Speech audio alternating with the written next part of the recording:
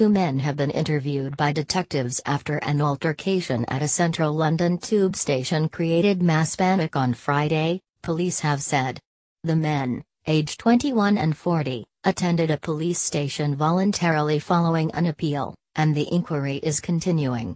16 people were treated after they were injured fleeing Oxford Circus station, following reports of gunshots being fired on a central line platform. There was no evidence any weapons had been fired, police said. Officers want to speak to anyone who was at Oxford Circus Underground station at the time of the evacuation. Shoppers were barricaded inside stores on Oxford Street and armed police were deployed after the alarm was raised during the evening rush hour. Police initially treated the incident as potentially terrorism related, before standing down. The British Transport Police said it believed there had been an altercation between two men on the platform before the scare. The Metropolitan Police said it began receiving numerous 999 calls reporting gunshots in Oxford Street and at Oxford Circus Station at 1638 GMT on Friday. The first armed response vehicle was on the scene in less than a minute from receiving the first call, the force said.